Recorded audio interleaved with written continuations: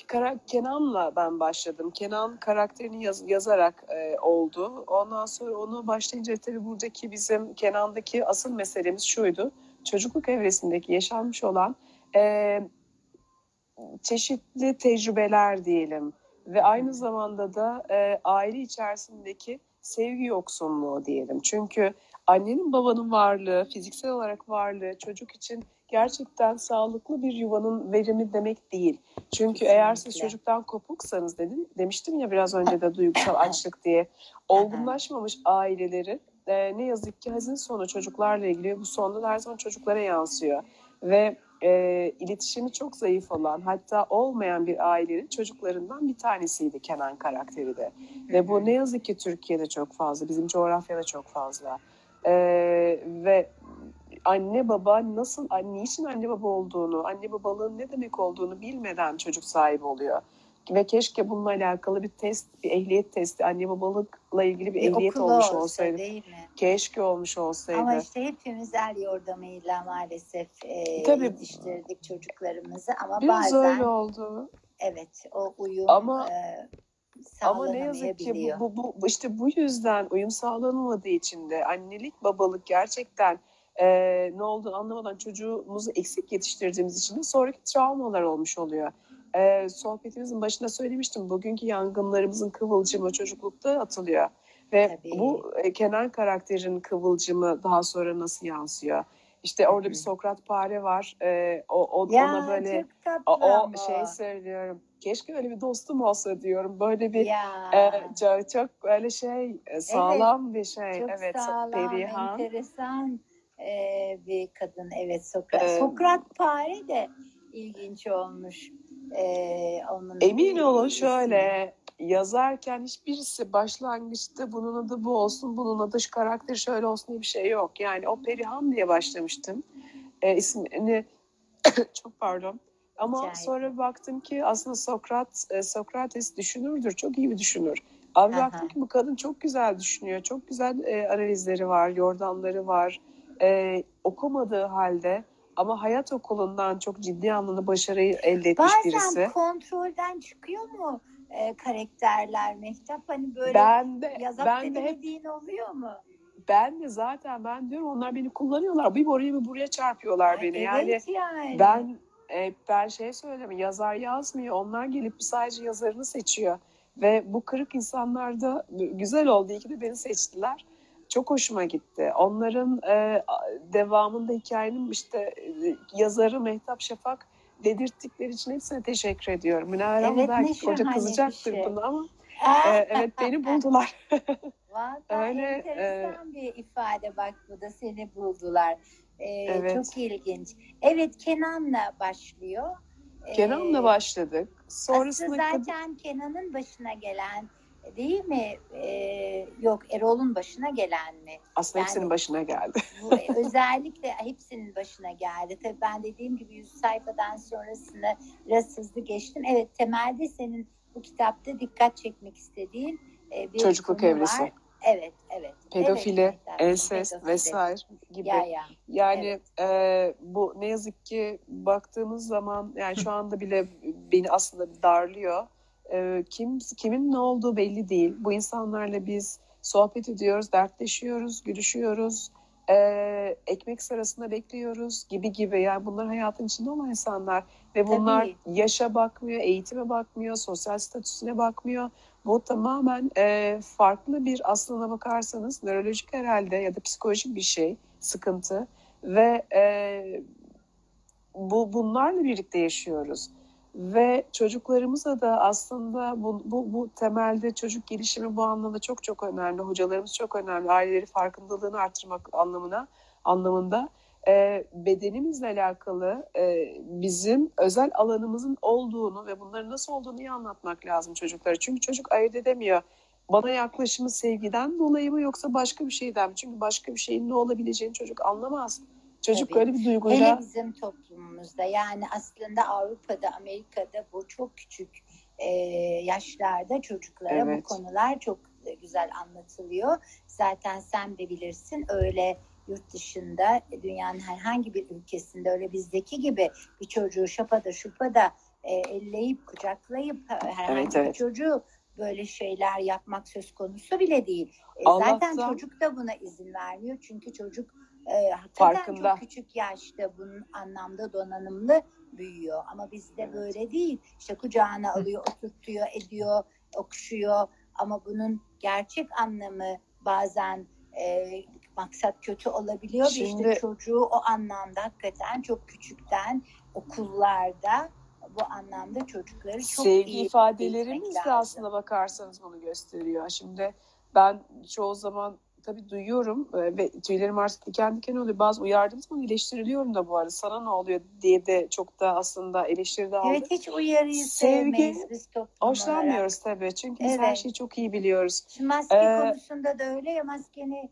tak dediğinde dönüp dövüyor adamı falan yani. Öyle bir garip e, bir hallerimiz var. Evet. Dünya genelinde bu arada şiddet ortalama %64 artmış özellikle pandemiden sonra. İnsanlarda artık tahammül denilen şey kalmadı. Evet, Tabii Onun sinirleri- öncesinde de zaten, yani onun öncesinde de zaten insanlar e, yeterince mesajı veremediler. Çocuklar bunun farkında değil gibi gibi ve sonrasında aslında bakarsanız şey kitabı birazcık daha e, bazı konularda e, şey diyorum çok özgürce yazdım, e, sansürsüzce yazdım çünkü biz bu yaşanırken bunlar yaşatılırken çok sansürsüzce çocukların duygusuna, çocukların anısına, zihnine, bedenine eğer dokunuluyorsa, bir çocuk kaybediliyorsa, erkek ya da kız çocuğu hiç fark etmez.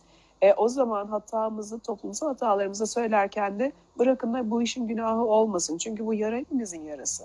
Tabii. Ve bu konuda Ve ben oradaki karakterde sözünü kesiyorum ne olur ara ara kusura bakma. Özellikle Erol karakterinde adamın işte bütün hayatına Evet, mal olan bir şey o yaşadığı. Yani evet, normal bir hayat ve ilişki kuramıyor başına gelen ve üstelik de Evet. amcası tarafından tacize uğruyor. Ve bu Evet. o kadar çok o kadar çok yaşanan bir şey ki hele son Evet. dönemde artık böyle bizi dehşete düşürecek kadar arttı. Pedofili, çocuk tacizi ve e, gerçekten bunun çok daha fazla üstünde durulup cezaların çok daha ağırlaştırılması lazım. evet. Hayatına mal oluyor. Ya O kadar o kadar oluyor. üzücü mailler alıyorum ve ki, o kadar üzücü. tabii hayatına İnanılmaz oluyor. bir Evet. şey. Yani şimdi bakın bu konuyla alakalı dehşet mailler alıyorum. Herkesin ha- şey var, e, hatırası çok fazla olmuş. Var. O yüzden de söylüyorum erkekler erkeklerden çok daha fazla geri bildirim var. E, gönül ister ki hiçbir şekilde bu işin cinsiyeti yok. Yani kadın ya da erkek diye ayırmamak gerekiyor. Gayet tabii. Ama kadınlar tabii birazcık daha biz anlatabiliyoruz. İşte dostumuzu anlatabiliyoruz. Annemize, kız kardeşimize herkes tabii anlatamıyor ayrı mesele ama erkek tabii hiç tabii anlatmıyor. gizli kalan o kadar Er- çok Erkek ise hiç anlatamıyor. Yani çünkü Ya. onun için bu bir o- ölüm, kalım, onur meselesi. Bizim için de aynı şekilde, kadın için de yani bu lütfen yanlış anlaşılmasın. Bu konuda kadın ya da erkek diye ayırmıyorum. İnsan olarak tabii. can tabii. olarak, hayat olarak söylüyorum. Ve e, baktığınız zaman tabii biz bunları eleştirelim. Bu pedofili noktasında, ensest noktasında e, mağduriyeti yaşatanlarla alakalı biz istediğimiz kadar küfredelim, onları kınayalım, farkındalıkları artıralım ama sebebine de bakmak lazım. Sebebine geldiğiniz zaman okul erken çocukluk döneminde sevgili Münevver abla yanlış bir şey söylersem lütfen beni düzelt. Evet bizi uyarsın. Ee, erken çocukluk olarak. dönemindeki yaşantılar ben de bu şu anda dışarı vuruluyor diye düşünüyorum ve ben inanır mısınız bunların hepsini e, gözlemleyerek ve de işte Aa, evet bu bundanmış diyerek çünkü e, bir oral dönem var bir de anal dönem var oral dönemde şimdi çocuk işte emiyor ağzına her şey alıyor ve biz çocuklara zorla bir şey yediriyoruz anne olarak değil mi aman çocuğum Olmaz aç mı? kalmasın bu Çok şekilde yaptığım bir şey. çocuğun ama o çocuğun o, o kadar kıymetli bir dönemi ki bu şimdi siz onu aslında orada tacizde bulunuyorsunuz. Bu Tabii bir istismardır esasında. Evet. E, aynen. analla anal dönemiyle alakalı iki yaştan sonrasında da e, bu sefer tuvalet eğitimi olmuş oluyor. İşte aşağılamalar var. İşte kakanı mı yaptın, yapamadın mı? İşte altını mı ıslattın? Çeşitli türlü. çeşitli Evet. tabii tanımlamalarla vesaire falan olumsuz tanımlar, tanımlamalarla bu dönemde geçiyor. Şimdi benim ağzıma zorla yemek gelip de benim özelime, benim e, oral dönemimde yani çünkü bu benim için çok kıymetli bir şey. Bir başkası tacizde bulunuyorsa ben şunu öğrenirim. Ben tacizde bulunabilirim. ve bunun adının istismar olduğunu bilmeden ben bu hakkı görüyorum çünkü en yakınım Bana bu yapıldı. annem Evet. annem yaptı en yakınım yani dolayısıyla ben bu hak bununla karşılaştıysam bunun suç olduğunu bilmeden ben de yaparım veyahut da e, bu bir hınç da olabilir bunun bir sürü dışa vurumu var Hınç da öfkeden olabilir, sebep- hak da görüyor olabilir tabii. hak görebilir hınç olabilir insan annesi yaptıktan sonra demek ki bu Tabii, yapılabilir Tabii ben bir çok şey. masum bir e, örneklemeyle gidiyorum. Çünkü o, o dönemde çok farklı şeyler var. E, şimdi mesela e, suçlularla vesaire falan bazen görüştüğüm zaman kader mahkumları da diyelim bazı şeyde. E, diyor ki ama diyor annemle babamın ilişkisi bu şekildeydi diyor. Babam annemi döverdi ve annem bir şey demezdi. Şimdi diyor ki çocuk karakter erkek kadını dövebilir. Bu benim için bir hak. Dolayısıyla bu bir suç değil. Onun canı acımayabilir. Yani o, o dövülecektir. O şiddete maruz kalacak bir karakter. Kadın için söylüyorum. Erkeğin düşüncesinde. Ve e, ben bunu duyduğum zaman çok üzüldüm. Yani dedi ki çocuk işte evlenmiş. Eşine o şiddet uyguladı.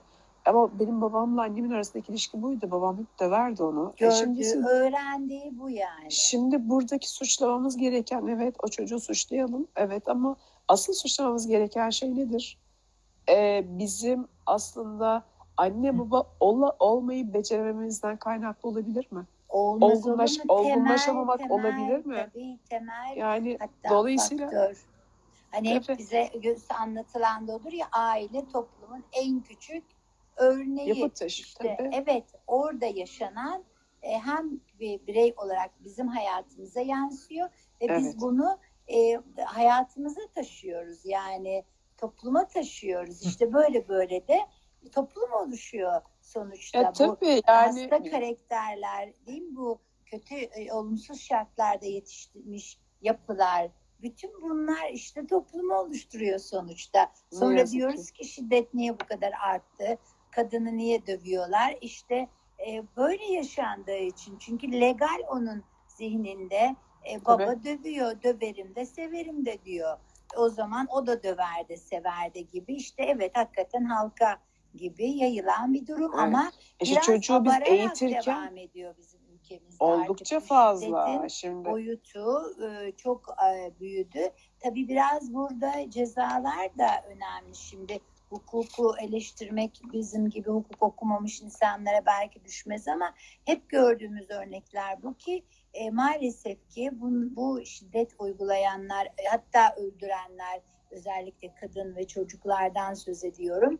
E, çok da hak ettikleri cezaları sanki almıyorlar ve bu e, ceza e, a- a- al- almayacak olması duygusu da insanlara bu Endişe verici. çok değil mi? Endişe Çok verici endişe ve tabii. rahatlık yani diyor ki ben hı. e, ne olacak ki bunu yapsam e, nasıl olsa 2-3 sene yatar çıkarım hiç ceza da almayabilirim duygusu biraz insanları değil mi? Şöyle Cay mı caymıyor yani insanlar. İçeri tutuklanma tabii ki tutuklanmaması ayrı bir trajedi ve artık sosyal medyanın bir işe yaradığını son zamanlarda fark ettiyseniz gördük. Dışarı Tabii. salı veriliyorlar. Bizler burada protesto ediyoruz. Tekrar tutuklanıyorlar falan. O, o ayrı bir konu. Ama şöyle bir geniş bir kitle daha var ki o da e, tutuklanmak onlar için bir caydırıcılık değil. Çünkü onlar için içeride ya da dışarıda olmak e, çok da farklı değil.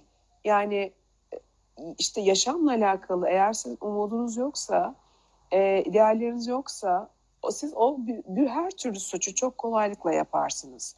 E, kaçakçılıkta yaparsınız, şiddette yaparsınız, işte aklınıza gelebilecek her türlü yasa, yasa dışı işleri yaparsınız. Çünkü onun için tutuklanmak, kısıtlanmak, hapsolunmak caydırıcı değil.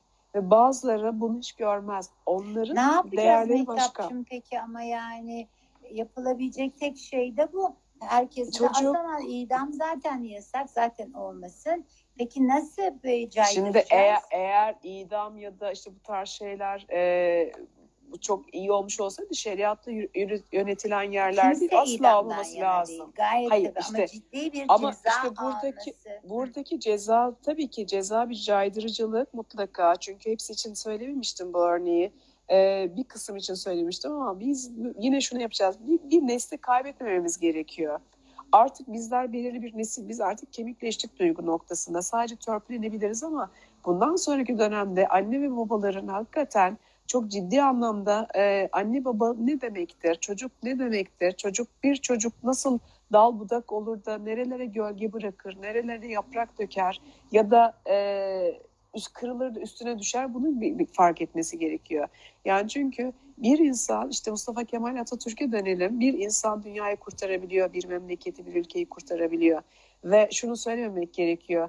Ya bu dönemde çocuk getirilir mi? Getirmek getir ama bilinçli bir şekilde getir. Belki senin çocuğun bu toplumu güzelleştirecek ve iyileştirecek. Ve ben hep şuna da inanıyorum. Belki umut var eden bir şeydir benim için. İyilik kötülükten daha çabuk bulaşıcı. Ve ben buna inanmak istiyorum. Belki bu bir hayaldir ah, bilmiyorum hepimiz ama. Hepimiz inanmak İnşallah. istiyoruz. Hayal değil tabii ama e, dönem dönem e, maalesef ki bizim ülkemizde tabii biz buraya da yaşadığımız için evet. buradan söz ediyoruz. Böyle bir uygulamada böyle bir şey maalesef Ve tabii çocuklarımız için iyilik bulaşmıyor e, ama şey, doğrusu o evet, tabii. Şeyde özellikle söylemek istediğim e, olay şuydu. Evet orada çünkü karakterli her türlü karakter var. Ama siz çocuğunuz için yapmanız gereken her zaman bunu söylüyorum. Çocuğunuza siz ben buradayım diyor olmak. Sen gitsen de ben buradayım. Uzaklaştırmak da gerekiyor çocuğu. Çok çünkü e, bu şekilde yaşamak da bu sefer çocuktaki karakter oluşumunu da engellemiş oluyor. Ve çocuğa vereceğimiz en güzel şey sevgi ve güven Ama işte duygusu. burada tabii Mehtapçığım şimdi bir arkadaşım da sesim arkadaşım da onu dedi. Yani eğitim burada annenin özellikle çünkü çocuğu tabii. yetiştiren anne. Ama şimdi bak bugün tekrar konusu oldu. Benim çok sevdiğim arkadaşım Filiz Genç İpek e, büyüklere ya okuma yazma bilmeyenlere okuma yazma öğretme sertifikası aldı, eğitimini aldı Bravo. ve okuma yazma bravo ama anlatacağım sonuç o kadar e, dramatik ki bunun buna da başladı kalede özellikle Ankara'da o Ankara'da yaşadığı için e, hedef kitleler seçtiler. Ama sonunda şöyle bir noktaya gelindi. Açev kanalıyla yapıyordu. E, bütün kadınlar okuma yazma biliyor. Böyle bir şeye ihtiyaç yok deyip e, onun bu eğitimi vermesinin önüne geçildi. Düşünebiliyor musun? Çok üzücü. Yani maalesef e, bugün de bu konu oldu. Yani e, anne anneyi eğitmeden e, hakikaten düzgün çocuklar çıkarmak mümkün değil ama bu Buna eğitim benzer bir şey benim de başıma geldi. yara. Evet. Yıllar evvel Adana'dayım. Ee, kitap kampanyası vesaire yapıldı. Yüreğir diye orada bir önemli bir bölge var. Ve oradaki çocuklarla da güzel bir iletişim kurdum ki oradaki e, yaşayan halkla biraz iletişim güçlük güç olabiliyordu. Ee, neyse çocuklarla işte e, iletişime geçtik. Sağ olsun izin verdiler onlarla iletişime geçmeme ve bir süre böyle arkadaşlıklarımız oldu ve dönem dönem gelip bana anlatırlardı okulda bu oldu, okulda şu oldu çünkü bana anlatacaksınız bu böyle mi oldu, şu şöyle mi neyse. Ee, bir, bir kız çocuğuna çok fazlaca kitap verdim. Onun yaşına uygun. Sonra aradan bir zaman geçti. Dedi ki Mehtap abla dedi bana dedi biraz daha kitap verir misin? Ve ben çok mutlu oldum. Hadi ne kadar güzel çabuk okumuş. Ne güzel dedim. tabii. Hayır sobayı tutuşturmak için onu kullanmışlar. Ay aşk O kadar incindim. Ay, o kadar üzüldüm. o kadar üzüldüm Ay, ki dedim ki. Ya. Aşk olsun ya. Ya buna Gazete benzer tepki değil mi?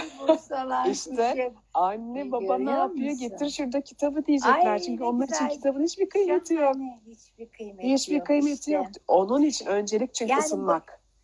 Evet tabii. Ha, evet öncelik ısınmak. Evet. Yani evet. aslında bunlara e, bu konularda hakikaten çok derin yaralarımız var Mehtapçığım evet. ama işte gene de akıllı, bilinçli, insanlar e, üzerlerine düşeni yaparak biraz devletin eksiklerini işte gidermeye çalışarak evet. E, işte beraber, sen kitaplar yazarak e, veya işte ne bileyim herkes kendi alanında elinin geldiği kadar bir e, çaba göstererek umudumuzu yitirmeden yol almaya çalışacağız maalesef. Bu, bu arada Acar şeyin ee, çok özür dilerim. Acar, Ayaş'la yanlış okuyor olabilir. Aile yaşantısı çocuğun aynası mıdır der. Bence aynası.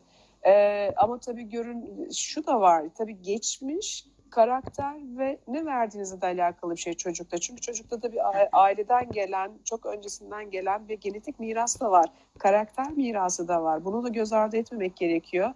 Ama yüzde yüz olmasa da evet aynısı diyebilirim ama bu ayna bazen uzun bazen kısa hepsi çok net göstermeyebiliyorsunuz. Ee, Göstermeyebiliyor ama ayna tabii. kesinlikle aynı olabilir. Ee, çok özür diliyorum bir şey sormuşsunuz. Acar, e, Acaray. Memnun musun şeyin satışlarından dedim. Yani e, kitap paketi ilgiyi gördü mü sence? Nedir durum? Ne zaman Şöyle çıktı? e, Haziran'ın sonunda çıktı. Dördüncü günde ikinci baskıya geçtiğinde Muharrem Bey beni da- şöyle Muharrem Bey beni arıyor tabii ben o sırada ev süpürdüğüm için duymamışım. Mesaj yazıyor. Ay, E, yazarlık da ya. şey. E, yazar da ev süpürebilir yani. Tabii canım. Ha, Dolayısıyla şey dedi Mehtap dedi ne kadar ilgisizsin. Ne... Sonra bir bak dedi Ama ki ikinci kardeşim. ikinci bas lazım şu yani. anda çok daha önemli tabii annenin Tabii. emri var orada. Olmaz Ee, ikinci baskıya geçti dediği zaman ben de sadece tepki nasıl yani nasıl yani oldu. Yani Ay, inanamadım tatlı. dördüncü günde çok hoşuma Aa, gitti. çok güzel. İşte bak bunlar Fakat- umut verici şeyler. Evet. Kesinlikle fakat tabii e, sonrasında o dönemde üç ilden imza için davet aldım vesaire falan onlar çok keyifli mutluluk verici. Fakat pandemi dönemi var. Ee, şu anda tabii ne yazık ki her yerdeyiz. Mesela ben de inanılmaz izole bir şekilde yaşamaya gayret ediyorum. Nezle oldum, ödüm patladı. Acaba Covid mi oldum diye. Yani e, o Yok, ha, kendimizden tabii, de şüphe ettim. Yok çok şükür. endişeleniyoruz ama dikkat Test yaptırdım tabii. var. Aa, testimi de tabii. yaptırdım. Çok şükür negatif çıktı ama hani Bravo. e, yanlış, ya şanssız mı diyeyim artık bilemiyorum ama her, bu bir nasiptir. Olsun, Nasibe de çok Olsun, inanıyorum. Hayat daha devam ediyor. Bir gün pandemi böyle tepemizde böyle duracak değil. Bir Evet, Yurt dışından çok biz ciddi bundan. anlamda e, şey var, ilgi var Ne Avrupa'dan. güzel. Ee, Aa, evet. şahane. Bugün Sonra pandemiden sonra bizim e, galeride bir zaman zaman imza günleri yapıyoruz Mehtapçığım. Aa, onur Ee, duyarım. şeyin de bir imza gününü yapalım inşallah. Onur duyarım Ee, inşallah. Bu, e, şu şeyden bunu bir atlatalım. İnşallah Normal sağlıkla. hayatımıza dönelim. Çünkü kalabalıkları bir araya getiremiyoruz. Biz şimdi galeriyi açacağız Eylül sonuna doğru ama Belki belki orada bir resim sergisi de yapabiliriz. Ay Biliyorsunuz ben inşallah. çiziyorum da. Aa, ne tatlı. Ay ne güzel. Zaten sanatın bir alanıyla uğraşınca diğer alanlarında da bir şeyler çıkabiliyor. Hep gözlemlediğim bu yani. Yazarlar, Sanazlı Eray da resim yapar gibi yani Hmm. birbirini besliyor tabii ki bunlar. Evet, evet. inşallah İşte ben bir dönem yazıyorum, yaparız. bir dönem çiziyorum. İkisini eş zamanlı yapamıyorum. Henüz o kadar başarılı değilim ama tabii bu tamamen amatörce. Resim yapmak benim için hakikaten çok Ama ne büyük bir keyif. güzel bir şey. Tabii. Bir de buralarını tabii. akıta akıta yapıyor olmak beni mutlu ediyor. Aa, ne malzeme kullanıyorsun? Yağlı boya kullanıyorum ama bazen içinde e, şeyde alçı da kullanıyorum. Alçıyı seviyorum tuvalin üstünde ama tabii onları farklı Aa, şeylerle de karıştırıp yapıştırıyorsun? e, o, o tabii farklı bir malzemeyle onu ayrıca bir anlatmak lazım. İçine çünkü başka tutkallarla vesaire falan yapılıyor. Yoksa alçı atıyor. Tabii onu ben tecrübe ettim. E, tabii. çok güzel bir şey yapmıştım. İki gün sonra bir baktım ki yerde. Onu tecrübe Yani, ettim. ama işte böyle deneye deneye malzeme Alaylıyım. Evet. tuvalde. Çünkü her zaman her Alçı, malzeme Evet. tutmaz. Tut, tut, Mehtapçığım, tutkallar bir güzel dakika aldı. 40 saniyemiz kaldı bu arada maalesef. Çok keyif aldım. Benim çok, çok kulaklığım da pıt pıt pıt düşe düşe beni sinir edecek. E, evet çok çabuk geçiyor böyle konuşurken çok aslında daha oldu. konuşacağımız şeyler vardı ama olsun. E, gene bir gün Başka bir bir zaman sonra tekrar İnşallah. başka yeni kitapta İnşallah. ee, inşallah. Aa gene Mehtap yeni kitabını çıkarmış deriz. Yine Ee, ben de inşallah. Yaparız. Çok keyif aldım. çok teşekkür ediyoruz bizi izledikleri Ben için. Ben de. çok keyif aldım. Gerçekten e, çok hızlı konuşmamız gerekiyor. Çok hızlı konuları tabii e, geç, yani geçiş e, geçiriyoruz. Hızlıca ötekileri atlamayalım diye süre kısıtlı ama bence gene de e, birçok konuyu Çok keyifliydi. e, değil mi gözden geçirmiş olduk. Bence de çok keyifliydi ama artık veda zamanı. Herkese çok teşekkür ediyorum. Size e, aynı zamanda Nurol Holding'e ve de galeriye herkese çok teşekkürler. Bizi Biz buluşturdunuz. teşekkür ederiz. E, Biz sağlık teşekkür- dolu güzellikler diliyorum herkese. E, Evet. Yarınlarımızın bugünün temeli olduğunu sakın unutmayalım lütfen. Ee, Evet. Dolayısıyla dikkatli olalım yaşamımıza dair her konuda dikkatli olalım. Evet, siz de bol bol yazın, biz de bol bol okuyalım. Çok Ee, teşekkürler. Böyle karşılıklı iletişimimiz olsun. Ben teşekkür İnşallah. ederim Bedriyeciğim vesile olduğun için. Ee, Çok teşekkürler Bedriye abla. Katılanlara da çok teşekkür ediyoruz. Hoşça Çok kal. sağ ol. Sevgiler, Görüşmek saygılar. üzere. Hoşçakalın. İyi akşamlar. Hoşça kalın. Güle güle güle güle.